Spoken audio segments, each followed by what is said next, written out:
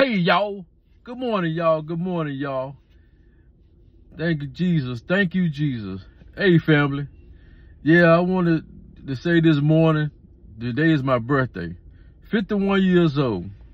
Still here on in God's mercy and grace.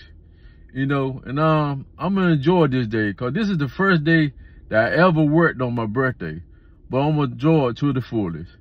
Um, I like to thank everybody, my wife, my kids, my grandkids, and my mom, and uh, everybody out there on, the social media, on Facebook, YouTube. Um, thank y'all for all the birthday wishes. Yeah, um, I'm gonna enjoy this day, but later on this week, um, this weekend, I'm gonna celebrate my birthday. But um, I just thank God for being here, seeing another year. Could have been the other way. I could have been dead, sleeping in my grave, but I'm still here through his grace and mercy.